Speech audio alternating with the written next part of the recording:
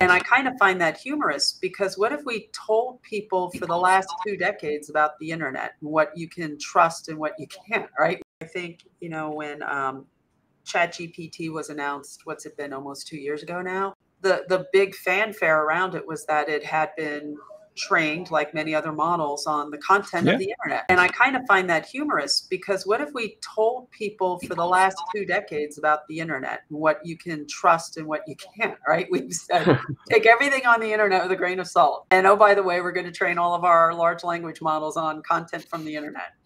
But it's right. totally trustworthy. I have two of my children are, are in college and the professors are warned both of them that if you're going to be utilizing ChatGPT or or Grok or anything else, you need to validate the information that they're going to provide. It may not be factual at right. that point because it's just scanning the internet, it's bringing that information up, and right. it's doing its best it possibly can. But a lot of people they, they run it through AI and they think that's the answer and that's the truth.